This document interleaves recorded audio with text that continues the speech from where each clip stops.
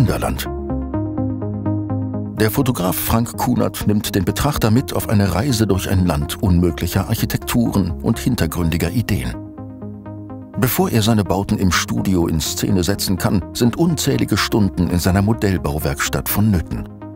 Mit Leichtschaumplatten, Knetmasse und Farbe geht er daran, seine Ideen in konkrete Landschaften und Gebäude umzusetzen. Kunert baut in großem Maßstab, um auch kleinste Details nachbilden zu können. Sein Ziel ist es, Materialien und Oberflächen möglichst original aussehen zu lassen, denn in den späteren Phasen der Entstehung kommen keine Bildbearbeitungsprogramme zum Einsatz.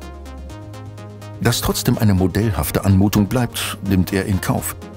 Ihm ist es wichtig, einen komplett analogen Prozess abzubilden, daher fotografiert er auch mit klassischem Studiolicht und mit einer Großbildkamera. Seine Themen findet Kunert in Sprichwörtern und Lebensweisheiten, aber auch in seinen eigenen Alltagsbeobachtungen.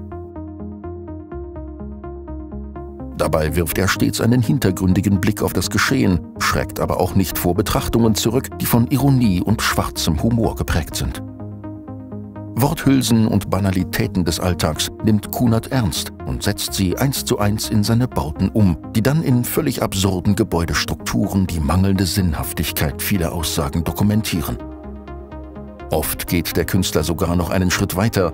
Er übersetzt die Aussagen in technisch unmögliche Konstruktionen und gibt der Darstellung dadurch noch eine weitere Wendung. Aus einem Drive-In-Imbiss wird so ein Riesenrad mit Autos statt Gondeln, an dessen Fuß zerschmetterte Fahrzeuge liegen bleiben. Die prachtvolle Treppe zum Restaurant Carpe Diem führt ins Nichts. Hinter dem einzeln stehenden Fassadenteil lauert der unmittelbare Absturz.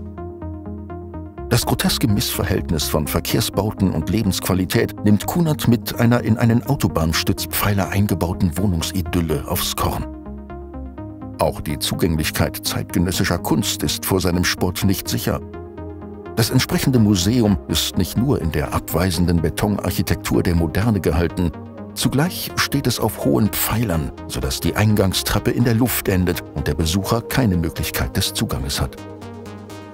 Nicht zufällig ist in Kunerts Werk die deutliche Dominanz architektonischer Scheußlichkeiten aus Beton.